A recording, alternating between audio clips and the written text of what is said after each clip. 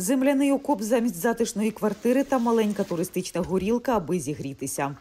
Вже 11 місяців поспіль так живе киянин Юрій. До вторгнення Росії інженер, тепер військовослужбовець. До 24 лютого я спокійненько працював інженером е, висотних е, будинків е, в водопостачання.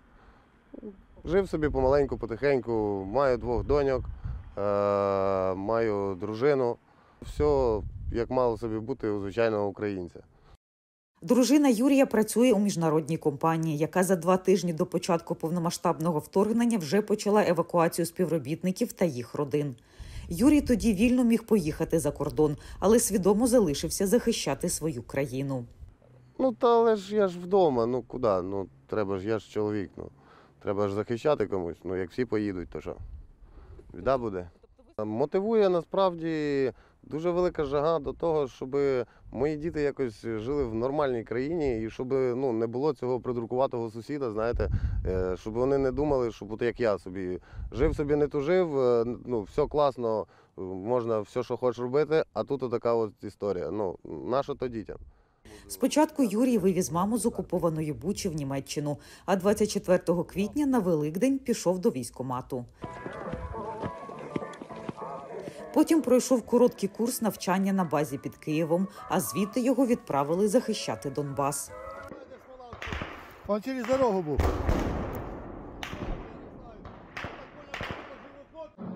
Колишній інженер став оператором наводчиком БМП-2, О, є. Емочка. А пізніше оцінив американський бронетранспортер М113, які з середини літа 2022 року почали поступати на озброєння ЗСУ від союзників. Перший серйозний бойовий досвід Юрій здобув у липні, захищаючи вугледар, де українським добровольцям протистояли найманці ЧВК Вагнер. Що ми готові зустрічати? Та мабуть. Де Да. А там качерав янда.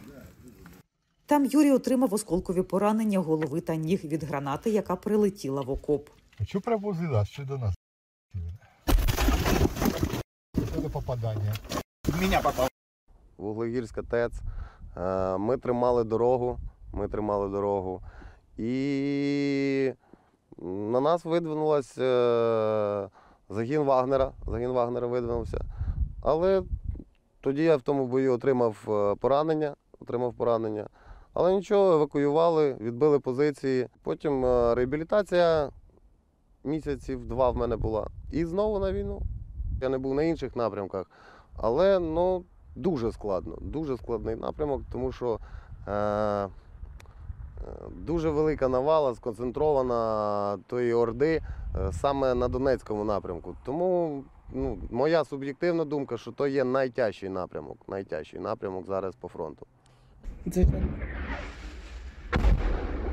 Весь загін Юрія складається з добровольців, які до вторгнення Росії мали успішні цивільні професії, а тепер захищають Донбас від окупантів. Це леви, які йдуть е, ну, в холод, в голод, е, під кулі, але йдуть е, воювати, тому що вони розуміють, ну а хто як не вони.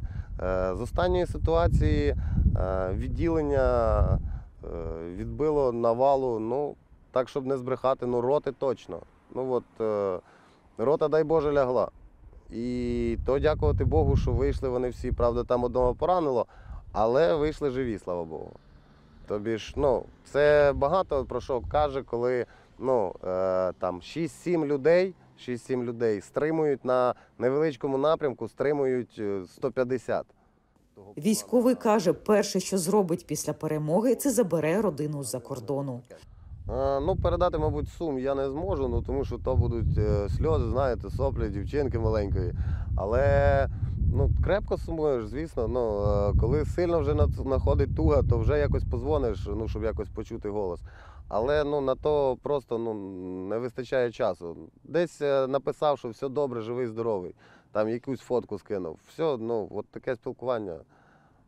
Ну, скоро перемога, скоро додому. Анна Костюченко, Павел Суходольський для Голосу Америки з Донецької області.